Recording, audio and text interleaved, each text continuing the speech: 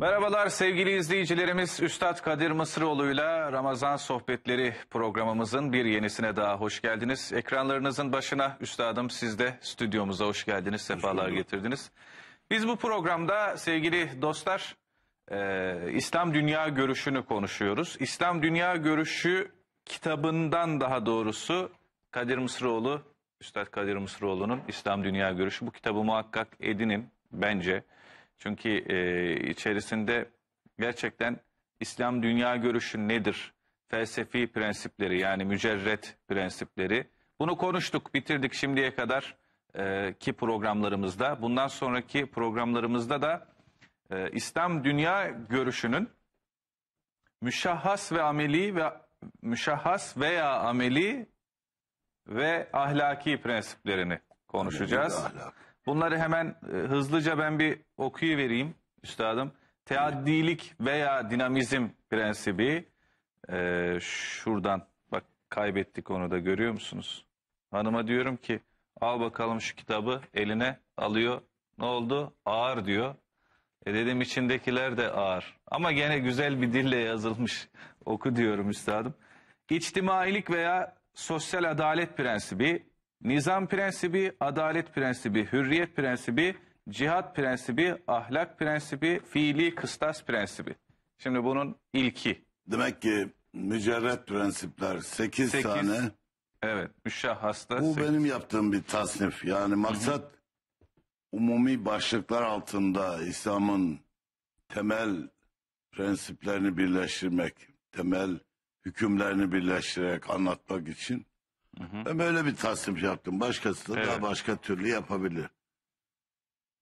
Teaddilik veya dinamizm prensibi. Dinamizm prensibi. Nedir teaddilik Ameli veya... prensiplerin birincisi budur. Evet. Çünkü İslam diğer felsefi sistemler gibi mücerret, sadece duygu ve düşünceye hitap eden, amele taalluk etmeyen bir din değil. İnnel insane lefî husra. Umumi bir hüküm olarak insanoğlu hüsrandadır. Burulduktan sonra. İstisnalar bak nasıl zikredilir. İllellezine amenu. O kimseler ki iman ederler ve amelü salihat. Ve ameli salih yaparlar. İlla istisna içindir. İnsanlık kahir ekseriyetiyle hüsranda, hüsrandan kurtulan iman edenler ve o imanın icap ettirdiği amelleri ifa edenler. Şimdi buradan bir şey çıkıyor. Peygamberler bazen zaman itibariyle, bazen mekan itibariyle tahditli bir vazifeyle göndermiş oldukları halde bizim peygamberimiz ne mevzu itibariyle bir tahdide ne de zaman itibariyle hatta mekan itibariyle bir tahdide tabi değil. Kıyamete kadar zaman onun sultayı nübüvveti altında cereyan eder. Ve bütün insanlık onun ümmetidir. Tebligatına muhataptır. Evet. Hiç kimse hariçte değildir.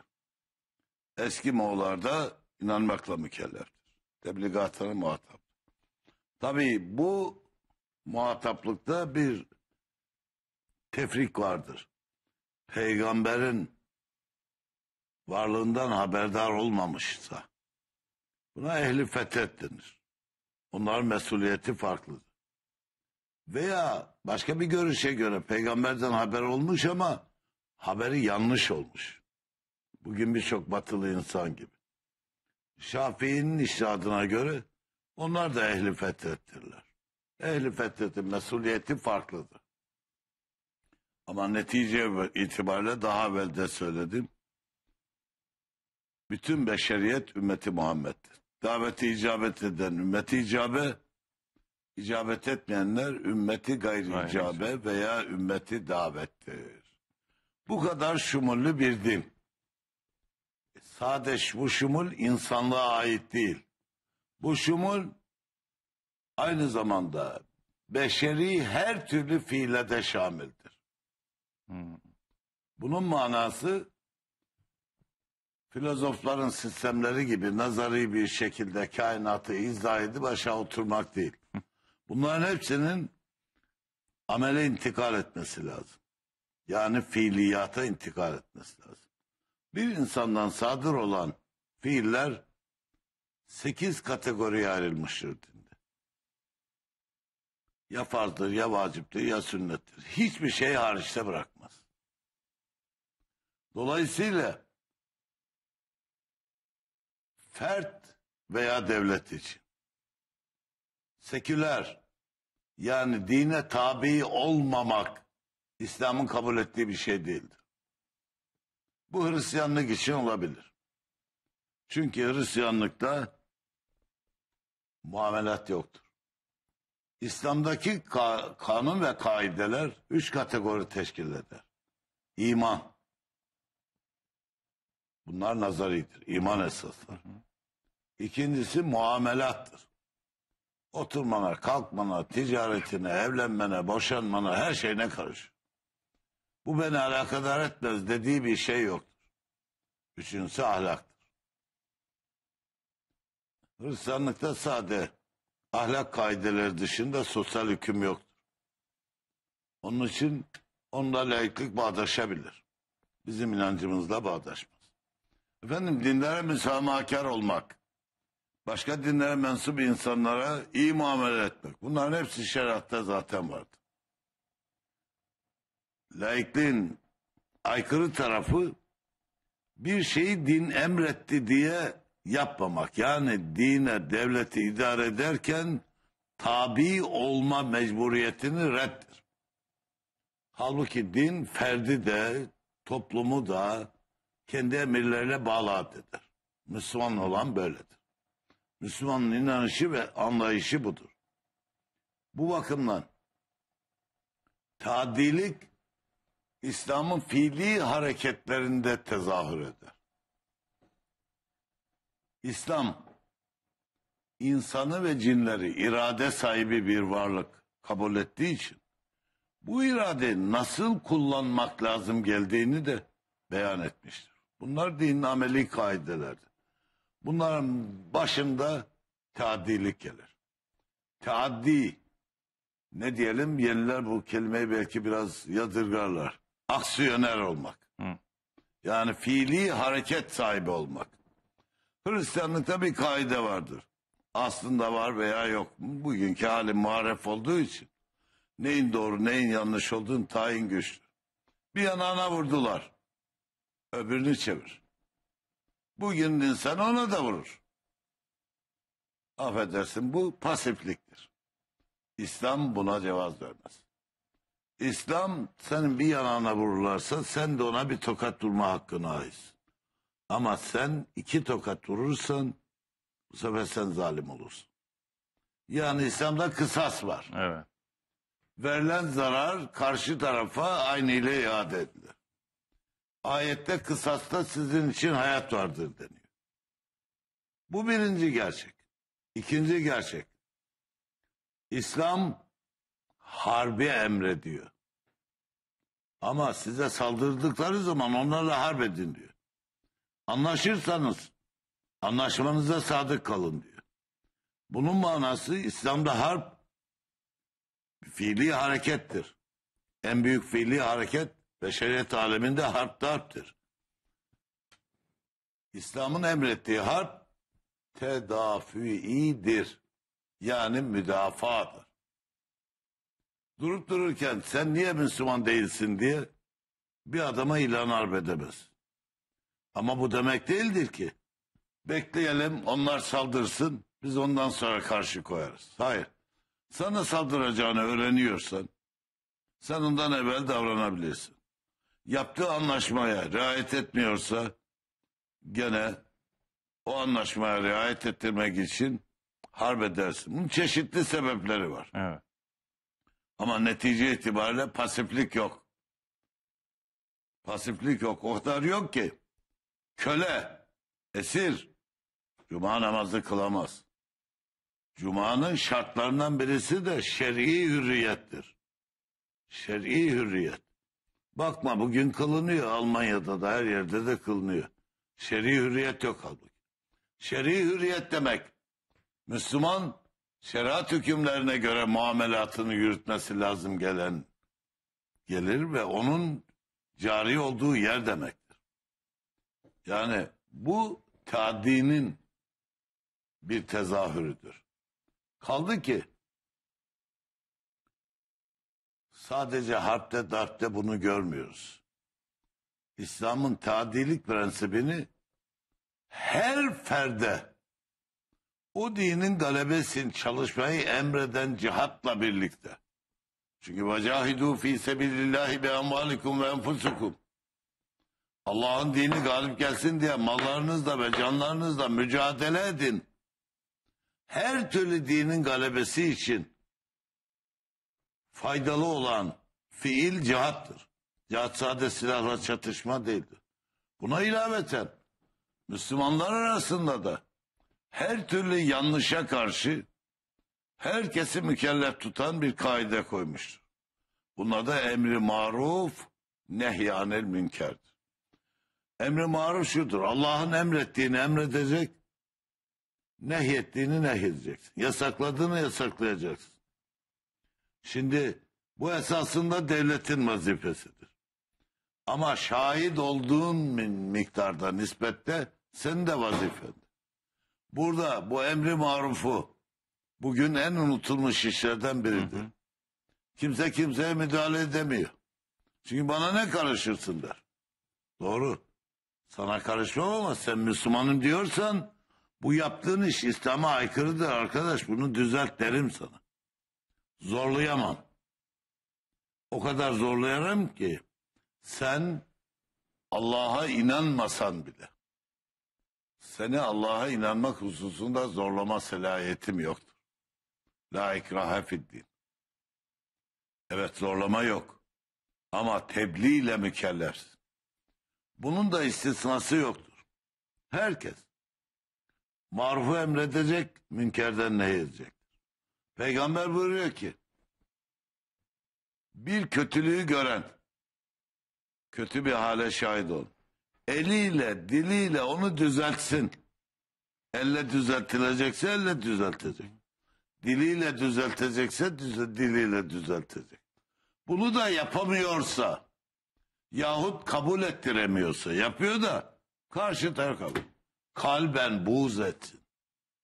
Onun manası şu. Sen o kalbindeki buğzu muhafaza etmezsen o kötülüğe adapte olursun. Tabiileşir. Sen o tabiileşmeye mani olman için kendi içindeki o yanlışa karşı olan muhalefeti muhafaza edeceksin. Ben 2000 yılından evvel 2000 yılına girilirken belli bir ölçüde kaçak kaldım. Şey affını bekliyordum konferanslardan. Ecevit'in hanımın adı neydi? Rahşan Rahşan, affı evet. denen affı bekliyorum. Evet. O sırada bulunduğum yerde televizyonda bir program çıktı. Bir e, karikatürist de röportaj yapıyorlar. Karikatürist beni ne alakadar eder? İnsan çirkinleştirmek caiz değildir. İnsanla alay caiz değildir. İnsanı taklit caiz değildir. Tiyatrolar, sinemalar bugün bir vaka ama bunun hakkında ehli bir hüküm vermelidir. Dinlemek istemedim. Ama kumanda çalışmadı. Üşendim de kalkıp gidip meğerse müthiş bir laf duyacak. O karikatüriste diyor ki programcı. Sen diyor karikatürlerini diyor hiç kimse neşetmiyor. Sen boyuna çiziyorsun. Karikatürlerini kitap yapıyorsun. Kitabı karikatürde kim okur? Niye devam ediyorsun bu işe? O adam diyor ki bu rejim diyor. Bu rejim bütün muhaliflerini kendine benzetti. Aşırı sol da aşırı sağ da yuvarlaklaştı biraz kemalist oldu diyor. Sözde bir hakikat payı var. Yuvarlaklaştırdı. Ben de öyle olmayayım diye muhalefetimi muhafaza için çizmeye devam ediyorum diyor. Şimdi bu söz İslam'daki şu psikolojiyi ifade eder. Yani bir adam eliyle diliyle düzeltemediği şeyi psikolojik olarak nefretini ifade ederek devam ettirmelidir. Şimdi İslam dinamik bir dindir. O kadar dinamiktir ki Peygamber aleyhissalatü vesselam men isteva yevmen fehuve mabunun buyuruyor. İki günü birbirine eşit geçen insan ziyandadır. Ama gariptir. Terakkiyi böyle emreden bir din.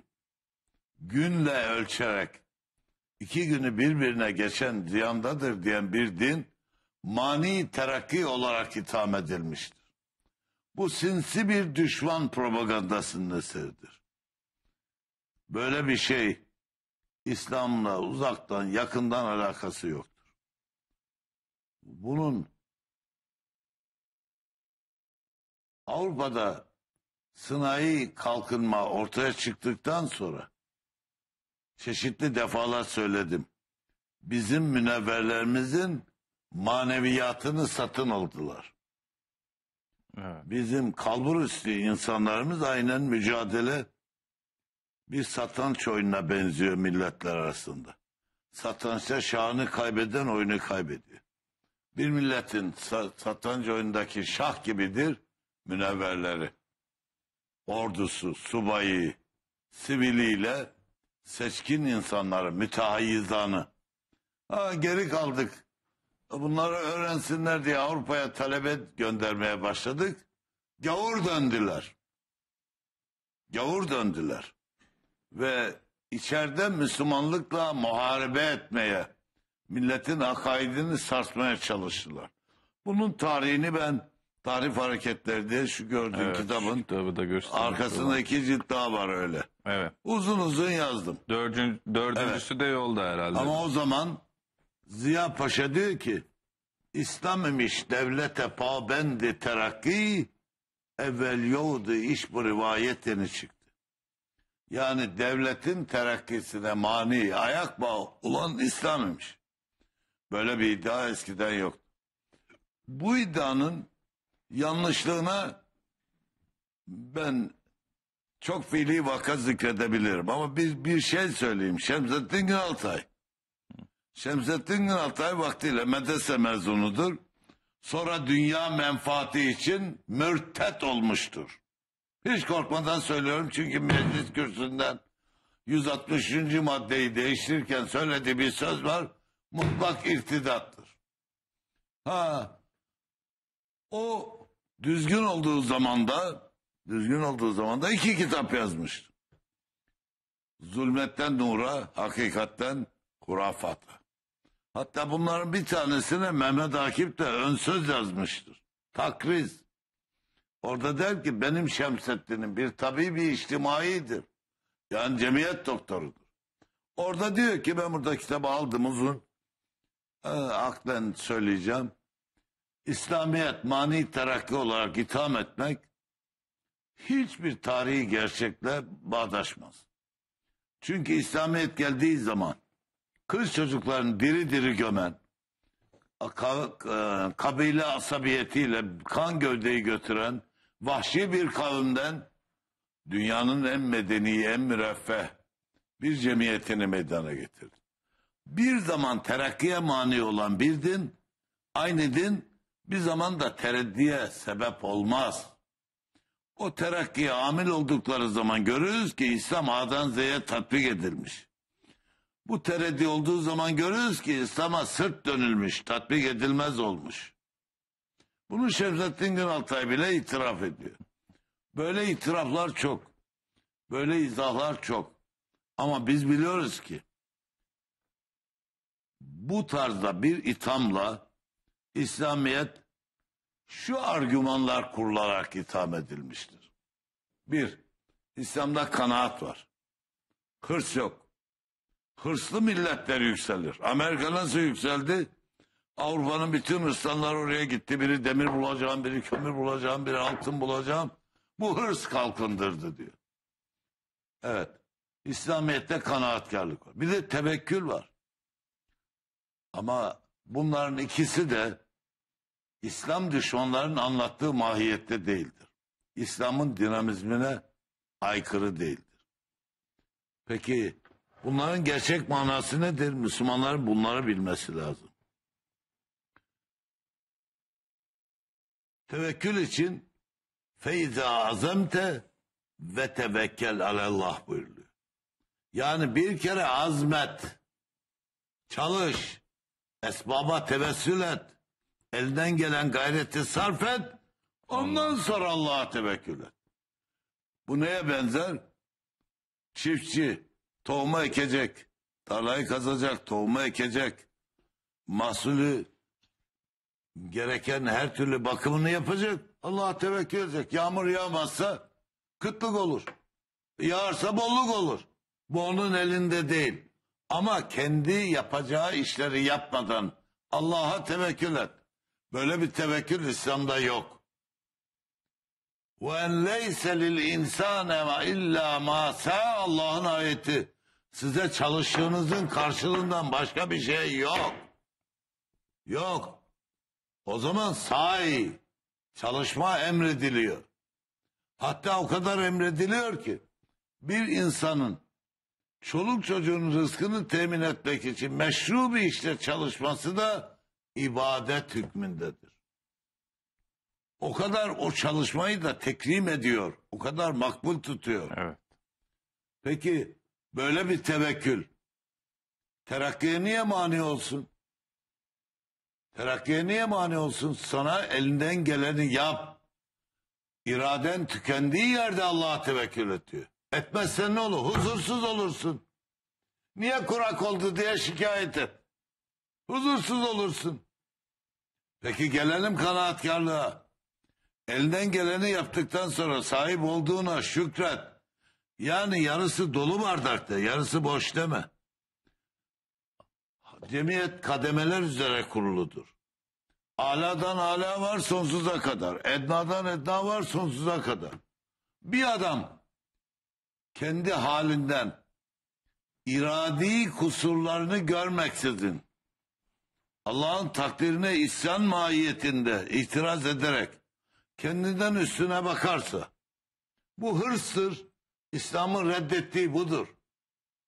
Çünkü düşünebiliyor musun? Fakirler mi paraya haristir, zenginler mi? Zenginler de haris. Ya sen ihtiyacını karşılamak için paraya haris oldun, çalıştın, hamallık yaptın, bilmem ne yaptın, tamam yap. Ama senin yedi sülaline yetecek paran var. Bu hırs niye?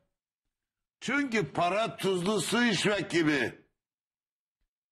Tuzlu su içenin işrası tatmin olmaz, azar.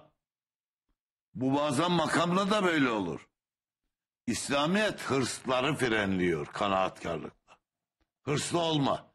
Hırsı bir yerde tebcil ediyor. İlim elde etmede.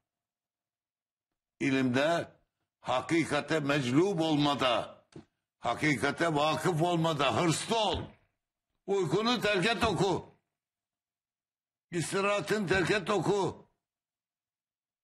Bugün futbola verilen zaman kadar okumaya verilse acaba Türkiye bu noktada mı olurdu?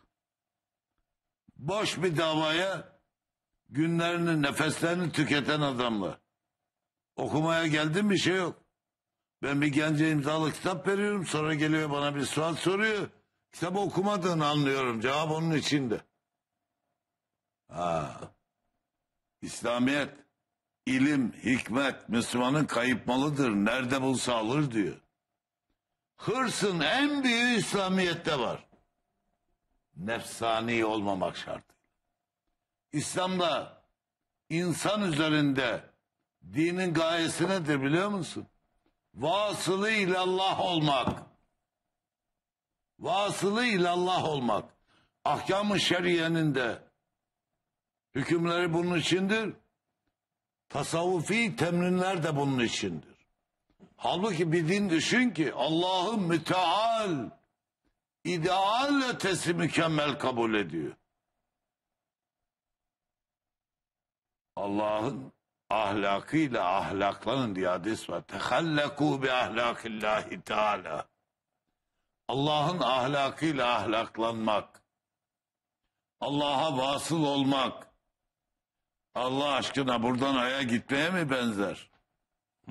Hadsiz hudutsuz bir yoldur. Bir insan 500 sene yaşasa,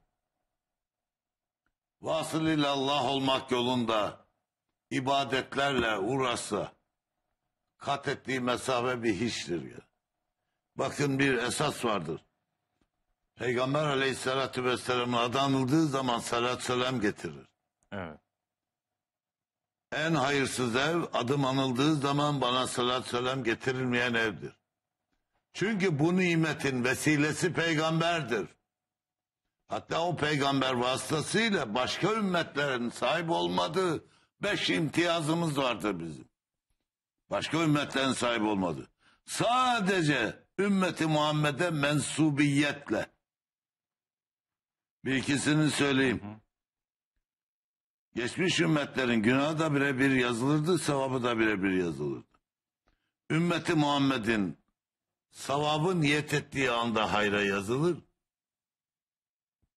İcra ettikten sonra dokuz daha yazılır, bire on yazılır. Bir gayri hesap da vardır oruç gibi. Bir gayri hesap. Allah bilir mektum tutmuş. Bire sekiz yüz bile var. Bu ümmeti Muhammed'e mahsustur. Ümmeti Muhammed'e mahsus bir diğer şey de günah bire bir yazılı, bire on yazılmaz. Bir başka sebep, bir başka netice de sağdaki melaike soldaki nameridir. İşlenen günah altı saat yazamaz. Mümin tövbe ederse hiç yazamaz. Sağdaki soldaki nameridir. Böyle çok imtiyazlar var. Onun için Peygamber'e sallallahu aleyhi ve sellem getirmek. Biliyor musunuz? Hadis-i şerifte buyurulur ki her salatü selam düşün 1400 senedir selbi yollarla salat selam getirmiş. Benim Allah'a kurbiyetime yakınlaşmama vesiledir. Her salat selamla ben bir adım daha Allah'a yaklaşırım. Bu yol bitmez. İşte hırsın büyüğü budur. Fazilette hırslı ol, takvada hırslı ol, ibadette hırslı ol. Beş vakit namaz az geliyor de. Kalk gece kıl. Bir mani yok. Bir mani yok. Evet. Dünyaya hırs mezmum. Dünya kadar zengin olabilirsin. Dünya kadar zengin. Bir mani yok. Verenen aldan üstündür. Kazancın meşru yoldan olsun. O servetin sana ilahi nizam icabı olarak yüklediği vazifeyi ifa et. O senin için bir nimettir. Meşrudur. Ama bir çöpün olsun. Şu kitap kadar bir çöpün. Bunu kalbine koy bunu put yaptın. Bu malikiyet gayrimeşrudur. Çünkü kalp muhabbetullah içindir. Kalp muhabbetullah içindir. Allah Azimüşşan ben göre göğe sığmadım müminin kalbine sığdım buyuruyor. Evet. Bu kalp muhabbetullah'a aittir.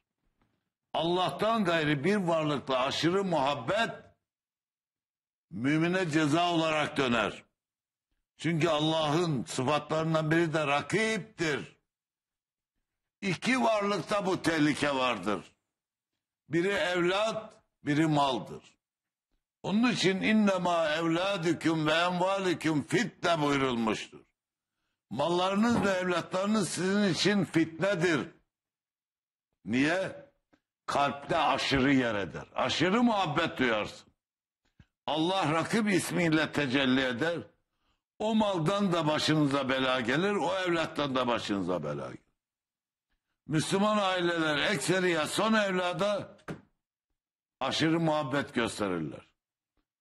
Dikkat edersen en son evlat ailenin başına problem olur. Bunun sebebi Ananın babanın o evladı aşırı muhabbetidir. Ben bunu malda yaşadım. Boğaz içinde bir yerim var oraya aşırı muhabbet ettim. Başına gelmedik belaya kalmadı oranın. Askeriye benimle harp etti onu almak için. Anlatsam uzun gider. Malda ve evlatta bu tehlike var. Peki o zaman evleniyoruz. Bu Allah'ın emri. En büyük aksiyonlardan biri budur. Evet. Çünkü Allah Azimüşşan bütün canlıları erkek dişi yaratmış. Ve birbirlerine bir meclubiyet meyli vermiş. Bu meclubiyet döllenmenin fiili ve fiziki şartıdır. Fıtri şartıdır.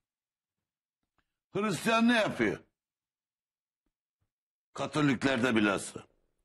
Ya rahip oluyor ya rahibe oluyor. Bunu takva zannediyor. Ben evlenmeyeceğim.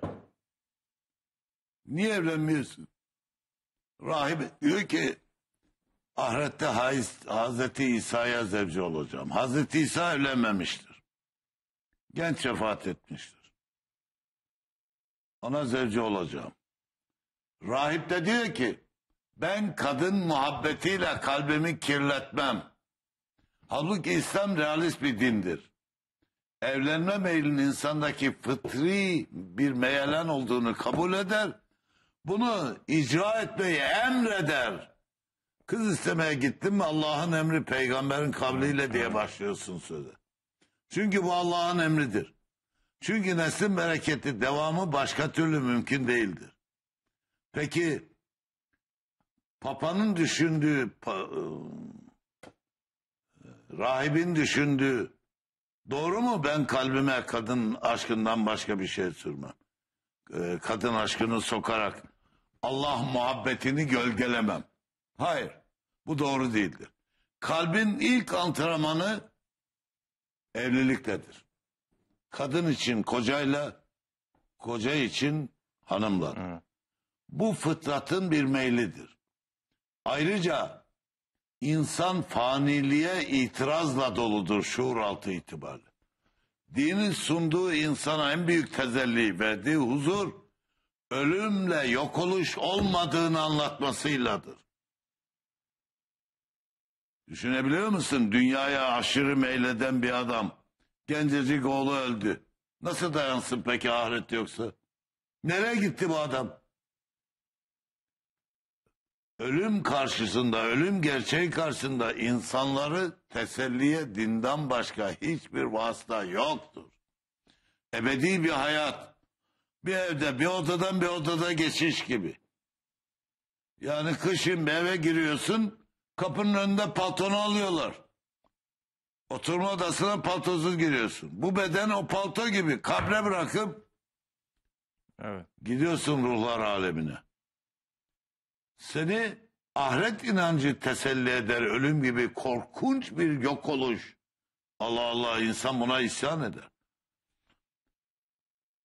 Evlilik benden bir insan meydana gelecek. Ve onda ben devam edeceğim. İnancım da onda devam edecek. Hissidir. Karı koca münasebetindeki lezzeti vücuda getiren amil şuur altı tatminliğidir. Faniliği aşma meylidir. Bunu Muhittin Arabi Fususul İkem'de o kadar güzel anlatır ki fazla detaya lüzum yok. İlk antrenman evliliktedir. Kalp sevgiye teşne hale gelir.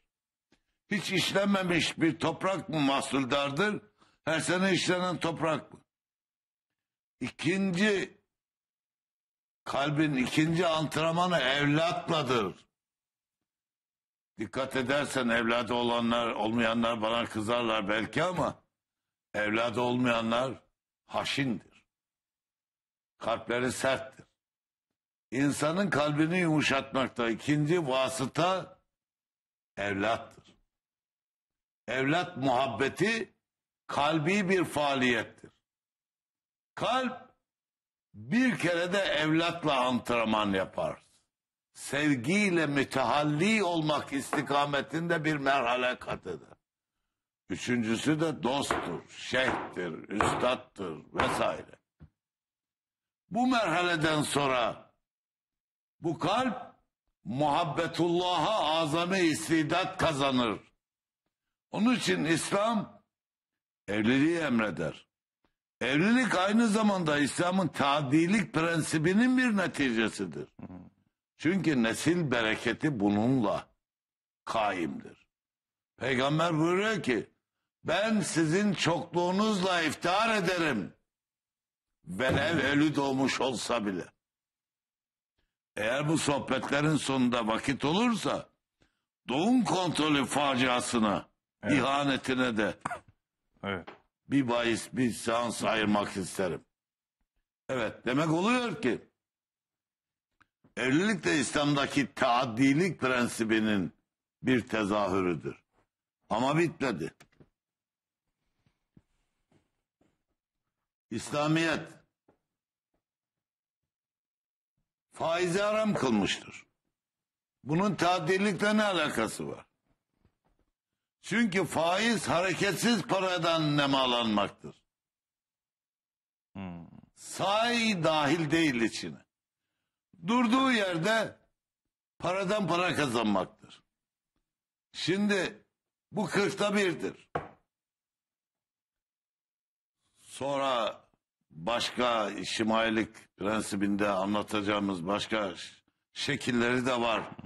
Ama bu zekat parayı harekete sevk eder. Kırkta bir vermiyor musun?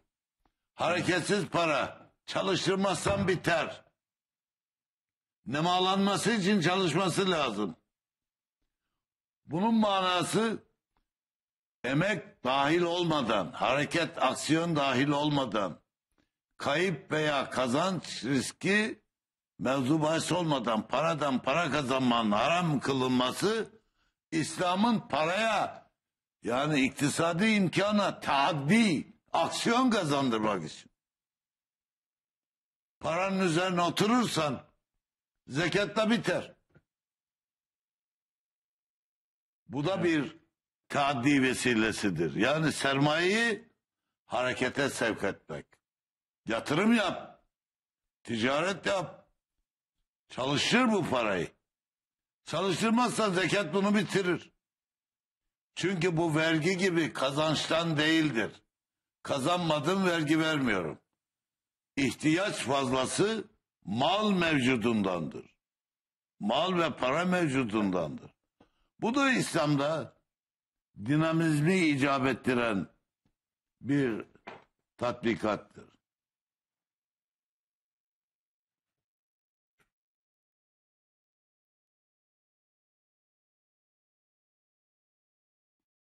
Şimdi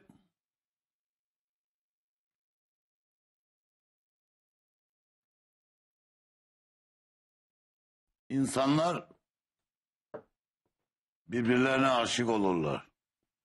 Bu aşka İslam edebiyatında aşkı mecazi denir.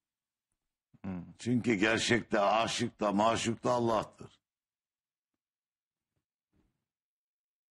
Eğer aşk denilen hadise bugünkü nesillerin anladığı gibi bedenin bedenle lezzeti ise o doymakla biter. İşbah haline geldin biter. Aşk gerçekte ruhun ruhla telezzüzüdür. Ruhun ruhla telezzüzüdür. Onun için bu mecazi aşk ilahi aşka yükseltir. Bak şarkta Leyla Mecnun hikayesi vardır. Evet. Leyla Mecnun hikayesinde sonunda var git Leyla var git Mevla'yı buldum diyor. Leyla diye diye Mevla'yı buldum diyor. Çünkü kalp antrenman yaptı. İslam'daki aşk üzerine hikayelerin hepsinin bağlandığı yer muhabbetullah'tır. Muhabbetullah'tır. Ona insanı götüren işler de muhabbet, beşeri muhabbettir. Bu kalbin antrenmanıdır. Bu inkar edilemez. Batı kadını erkekle eşit görmüştür. Erkekle eşit görmüştür. Bir şehvet vasıtasıdır. Ben Almanya'dayken bir istatistik gördüm. 4000 Alman genci kendini kısırlaştırmış. Çocuğum olmasın diye. Niye? Çocuğun çocuk bakımının meşakkatini yüklenmek istemiyor. Almanya'da 1.2 milyon nüfus azalıyor. Bunlarla Stern dergisinde bir röportaj okudum. Niye çocuk yapmıyorsun? Diyor ki çocuk yapsam Urla'ba gidemem. Yani yaz tatiline gidemem. Çocuk yapsam evim dar gelecek. Komşu e, polis diyecek ki kendine daha büyük. Metrekareye göredir. Bu polis gelecek çocuk mahalle çocuklarıyla kavga edecek. En tipikten sebepler. Hepsi egoizm. Egoizmin tezahürü. Halbuki aşk bir diğergamlık tezahürüdür. Diğergamlık tezahürüdür. Diğergamlık tezahürünü körletiyor. Kadın erkek münasebetini de nefsani şehvete inisar ettiriyor. Allah o şehveti bu külfetten kaçmasınlar diye veriyor. O şehvetteki lezzeti muhafaza ediyor. Çocuk meydana gelmesi gayesini öldürüyor. Spermler ölü geliyor. Bunu iradeyle yapıyor düşünebiliyor musun? En büyük bereket nesil bereketidir. Nesil bereketi olmayan millet tarihten silinmeye mahkumdur. Bütün Avrupa bugün bu durumdadır. Materyalizmin kıskacındadır. Maneviyatını kaybetmiştir. Halbuki İslamiyet fiili hareketleri bile manevileştirir. Arabanın kontağını açan adam Bismillahirrahmanirrahim der. Arabaya binerken Bismillahirrahmanirrahim der. Bu hep fiili hareketleri bile manevileştirmenin bir tezahürüdür. Velhasıl teaddi yani dinamizm İslam'da asli, temel, fiili bir prensiptir.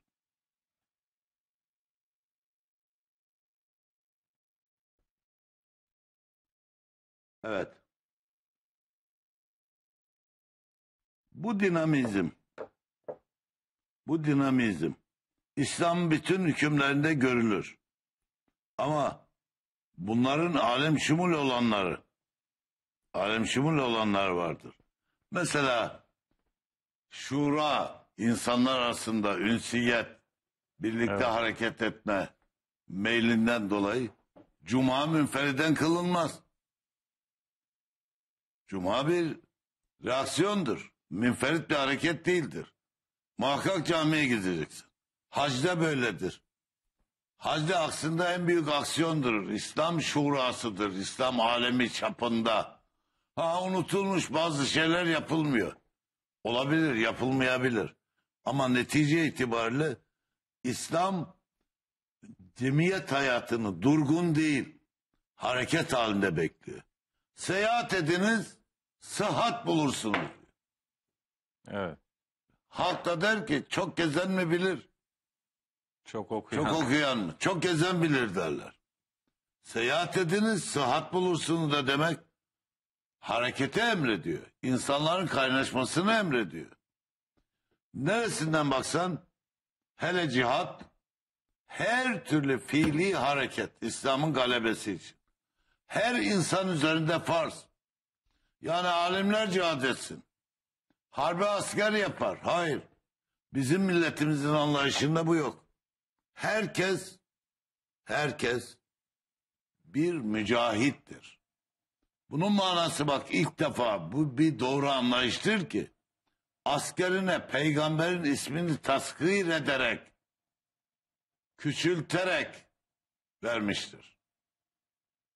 Bizim yazımızda İslam yazısında Mehmet Muhammed aynı yazılır.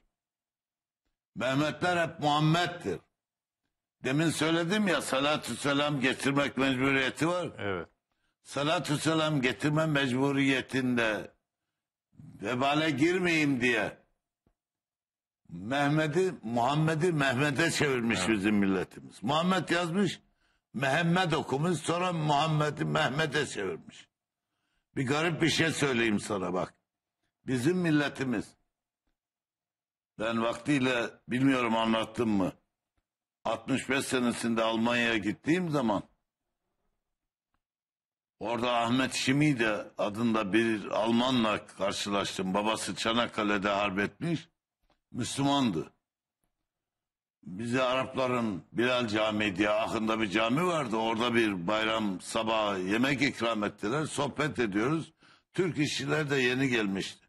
Sen neresin Kayserliyim, sen neresin Sivaslıyım, sen neresin ben Almanım dedi. Ben hayret ettim o kadar güzel Türkçe konuşuyor ki. Sen nasıl Almansın dedim ya bu kadar güzel Türkçeyi nasıl öğrendin? Çoğu Arap orada eğildi kulağıma dedi ki bunlar duymasın ben Türk tipi Müslümanım dedi. O ne demek dedim. Dedi ki Türk Müslümanlığın iki alameti farikası vardır. Cihat ve edep. Cihat ve edep. Araplar bu ikisini de unuttular dedi. Onun için liderlik Müslümanlara geçti. Bugün de o noktaya yeniden gidiyoruz. Bundan dolayı. Cihat ve edep çok doğru. Çok doğru. Cihat ve edep. Hiçbir millet yok ki yeryüzünde. Araplarda dahil buna. Peygamberin adını ismi cins yaparak askere atfetsin. Mehmetçik. Bu ne demek? Küçük Muhammed demek. Askerine Mehmetçik diyen Hristiyanlar İsa'cık mı diyor? Yahudiler Musacık mı diyor? Hayır. Sadece bizim milletimiz şu Anadolu Müslümanı Türküyle, Kürdüyle, Arabıyla, Çerkeziyle Mehmetçik diyor. Bunun manası sen bir küçük Muhammed'sin. Onu yürütmekle muhatapsın. Edebe de bir misal vereyim burada. Edebe de. Benim gençlik yıllarımda lisede okurken mahallemizin bitişiğinde bir köy vardı. Bizim mahalle o köy bitişiktir. Orada bizim köylüler Mehmet adını biraz köylüler kusuruma bakmasınlar. Şehir daha edebin iyi kavrandığı bir yerdir. Köyde Muhammed adını takarlar. Hala da var. Hala da var. Muhammed adında bir adam bir komşusunu harman yerine vurdu. Bu bildiğim vaka. Öldüreni de tanıyorum, öleni de tanıyorum. Çünkü mahallemizin bitişinde. Karısı silah sesine kapıya çıktı. Baktı ki komşuları Muhammed elinde silah kaçıyor. Kocası da kafası beyni parçalanmış, kalbi parçalanmış ne vaziyetteyse orada düşmüş. O kadın ne dese beğenirsin. O adamın adı Yaşar olsaydı, bugünkü gibi Oya Kaya olsaydı, alçak namussuz Oya Kaya demez miydi? O kadın dizlerini dövüyor. Muhammed Adıvan yazık. Adına yazık. Ben sana ne diyeyim? Muhammed kelimesinin yan- yanına kötü bir kelimeyi koyamıyor. Bu Müslüman bir kadın. Evet. Fadime abla. Tanıyorum kadını. Muhammed o telaşlı anında bile o kocasının vurulmasına şahit olduğu anda bile karşısındakinin adı Muhammed diye Muhammed kelimesiyle kötü bir kelimeyi yan yana getiremiyor. Muhammed Adıvan yazık. Gene çocukluğumda şahit olduğum bir vaka söyleyeyim mi? Buyurun üstadım. Benim kazam Karadeniz'de tek zeytin olan kazadır. İncir de boldur, zeytin de boldur. Yorozburnu ile Trabzon arasında Akçabat koyunda bizde ta Rumlardan kalma zeytinler vardır. Zeytin 3000 sene yaşar. 3000 sene. İki adam kucaklayamaz zeytin vardır. Bu zeytin ağacı da kocayıp köhneleyip de artık dal budak meyve veremez hale gelince zeytin ağacını içinde Mehmet adında bir insan yaşayan evde yakmazlar. Komşusuna verirler. Sen sizin evde Muhammed adında biri var. Zeytin ve incir de böyledir. Zeytin ve incir Kur'an'da geçiyor. Mübarektir. O bunu yakmaz. Nereden nereye geldik anlaşılsın diye de şimdi buna riayet eden biri var mıdır zannetmiyorum. benim çocukluğumda evden çarşıya inene kadar yol kenarındaki bütün duvarlar kara taştı. Kara taş. Yani harçsız. Yerde ihtiyarlar bir kağıt parçası gördüğü zaman onu alırlar duvar deliğine. Duvar delikleri çarşıya kadar kağıt doluydu. Mahalle yollarında belediye şimdi buralarda topladığı gibi kağıt toplamazdı, çöp toplamazdı. Sadece çarşının içinde çöp toplardı. Biz çöpleri bahçeye atardık. Gübre olur diye. O kağıtları niye o duvar deliklerine sokarlardı biliyor musun? Kağıt vasıtayı ilimdir. Çiğnenmesin. Allah Allah. Kağıt çiğnenmesin. Bugün buna riayet edilebilir mi? Daha garibini söyleyeyim mi bak. 1950'li yıllarda Necip Fazıl Bey Nazif Çelebi merhumu ikna etti. Haftalık gazeteyle mücadele tam olmuyor. Ben bir günlük gazete çıkarmak istiyorum. Günlük gazete. Nazif Çelebi Topbaşzadelerin damadıydı. Kayınbiraderler onlar da 4-5 kişiydi. Kayınbiraderlerini Süleymaniye'deki konağına bir ziyafete davet etti. Bir pazar günü. Bunlar fabrikatör, işleri güçleri var. Pazar günü bir vesile buldu davet etti. Necip Fazıl da çağırdı. Maksat Necip Fazıl bunlara derdini anlatacak. Bunlar da para verecek. Necip Fazıl da günlük gazete çıkaracak.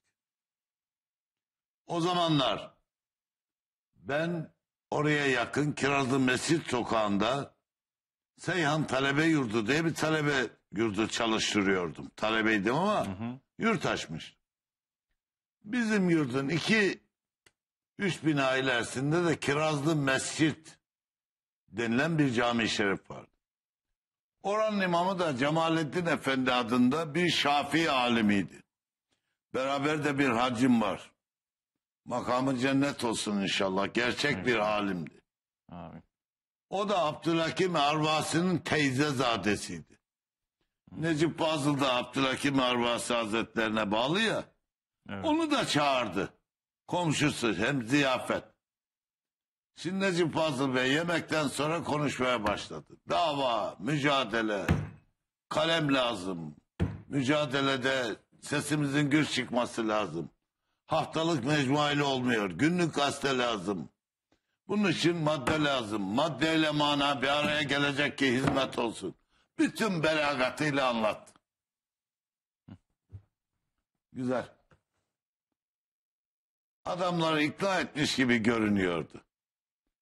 Cemalettin Efendi ne dedi bak. Bugünden o günün farkını anlaman için söylüyorum. Nereden nereye geldik? Evet. Ahlakta da, anlayışta da, zihniyette de. Dedi ki Necip Fazıl Bey evladım dedi. Ondan çok yaşlı. Bir insanın dedi kusurunu yanlışını söylemek dinde nedir dedi. Dedi ki gıybettir. Bu Allah'ın men ettiği bir şey değil mi dedi. Tabii dedi. Ne diyeceksin buna? Çoban bile evet der. dedi ki bir genç Aksaray'da bir genç yanıldı bir hırsızlık yaptı. Sen bunu gazetene yazacaksın. Günlük gazete havadisiz olmaz dedi. Efale adiye yani gıybet mahiyetinde olmayan fiiller haber değildir. Aksaray'daki genç yemek yedi diye haber olmaz. Ama hırsızlık yaptıysa haber olurdu. Cinayet işlediyse haber olurdu. Öyle mi? Doğrudur. Peki bunu söylemek üç beş kişi olur. Yazmak binlerce adama. Söylemek Allah'ın men ettiği bir şeyken yazmak ne oluyordu? Akan sular durdu. Dedi ki günlük gazete Müslüman işi değildir. Sen gene dergini çıkar. Orada dini yazılar yazdı. Necip Fazıl Bey öbürleri de güvenmiyordu. Bilinen ahlaki zaafları vardı. Onlar da bu görüşü havada kaptılar. İş bozuldu Necip Fazıl. Köpürdü ama şeyhinin teyzezadesi. Evet. Kılıcı kesmedi onu. Bunun manası bak nereden nereye geldik. Şimdi biri diyebilir mi ki gazete İslami değildir gazete çıkarmayalım. Şimdi buradan bir şey çıkıyor. Hayat dinamiktir. İslam'daki tadilik prensibinin bir tezahürü de İslamiyet'in yenilikleri yenilikleri açık ve onları da değerlendirmek üzere bir işaret kapısı bırakmış, açmış olmasıdır. Bu kapı kıyamete kadar açıktır. Bunu kimse kapatamaz. İşaret sadece ahkamı ilahiye üzerinde hadisten, ayetten hüküm istinbat etmek değildir. O da işarettır. Ama yeni ortaya çıkan işler bana buna karışmam. Ne dedik? Din ben buna karışmam demez. Şimdi organ nakli var. Organ nakli hakkında bir delil bulmak mümkün mü? Peygamber aleyhissalatü vesselam zamanında bir sahabenin burnu harpte kesilmiştir. Oraya altından bir Evet. ek yapmıştır. Ama bu başkasının organını almak mahiyetinde değildir. O gün olmayan şey bugün var. Ben Almanya'daydım. Benan bir hoca. Adını söylemeyeyim. Diyor ki sen diyor kalp nakli yapıyorsun. Müslümanın kalbi hasta kafirin kalbini alıp ona takıyorsun. Bu caiz olur mu diyor. Bu kadar hayattan habersiz. O kalbin eti kemiği kafir değil. O kalbin te- temsil ettiği tahassüs küfür. Teakkulun ötesindeki tahassüs küfür. Ama bu caiz midir değil midir organ nakli? Kaza geçiren adamın organını alıyorlar. Buna bir hüküm vermesi lazım. İslamiyet'te bugün böyle ihtiyaçlar var. Ama kimisi kolay hüküm veriyor, kimisi de hiç hüküm vermiyor. Bu da hayatın dinamizmini İslamiyet'in kabul ettiğini gösteriyor. Bu kemal, bu dinamizm, bu tadilik, bu zamanın getirdiği yenilikleri kabul veya red hususunda kendinin temel prensipleriyle o hadiseleri mizan etme Kemalizmde yok. Bugün yeryüzünde devletçi bir devlet yok. Altı oktan beri devletçilik. Hatta getirdikleri günden beri onların anladığı gibi layıklık anlayan bir devlet de yok. Bugünkü layıklık onların anladığı layıklık değildir. Devlet din öğretmez, vatandaşın öğretmesine de engel olur. Ben mahalle mektebinde Kur'an okuyordum. Dört defa jandarma bastı. Ben bunun canlı şahidiyim. Ve daha hayattayım. Bir ömür içinde olmuş. Evet. Dört defa. Sen öğretmiyorsun. Aile mahallede bir kadın bulmuş Kur'an öğretiyor. Kur'an. Benim çok erken yaşlarda Kemalizm aleyhtarlığım başlamıştır. Buna benzer hadiselerde. Ben dinimin kitabını öğreneceğim. Devlet bunu engelleyecek, jandarma gönderecek hocanın kapısına. Var mı dünyada böyle bir layıklık? Hiçbir zamanda olmamıştır. Bu sekülerite Fransa'da başlamıştır. Fransa'da hiçbir zaman din yasak edilmemiştir. Evet.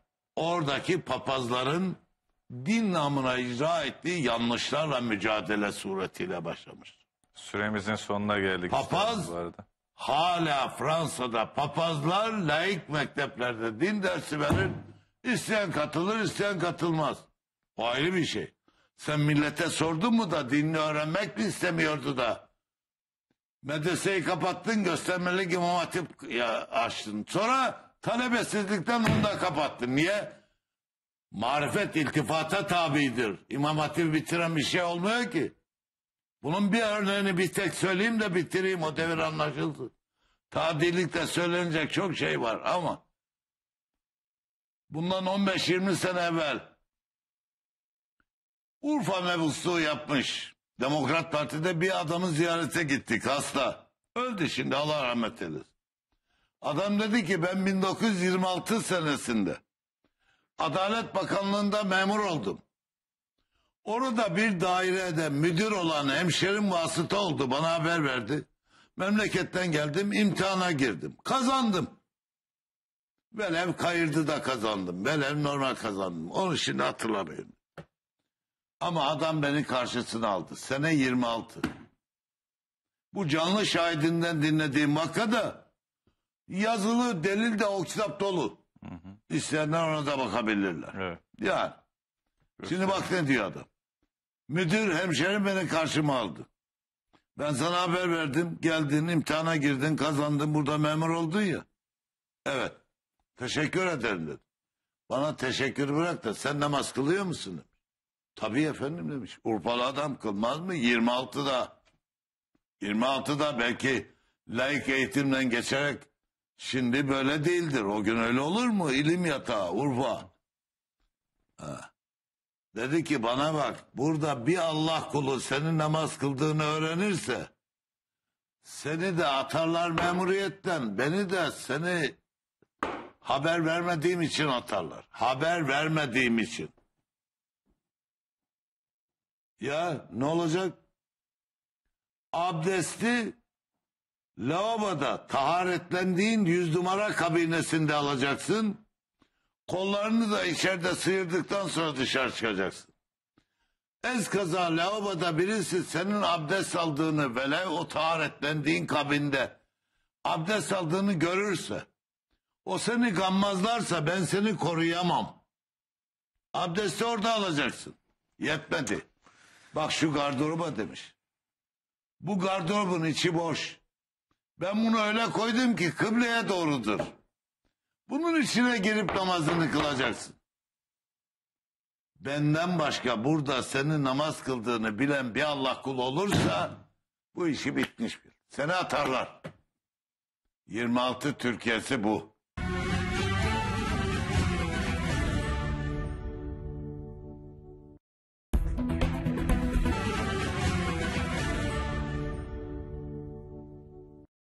Eyvallah. Arkadaşlarımız da uyarıyorlar. Süremizin sonuna gelmişiz. Ağzınıza, gönlünüze sağlık üstadım. Çok teşekkür ediyoruz. Sevgili izleyicilerimiz, Üstad Kadir Mısıroğlu ile Ramazan Sohbetleri programımızın birinin daha sonuna geldik efendim. Yeniden görüşmek ümidiyle Allah'a emanet olun. Hoşçakalın.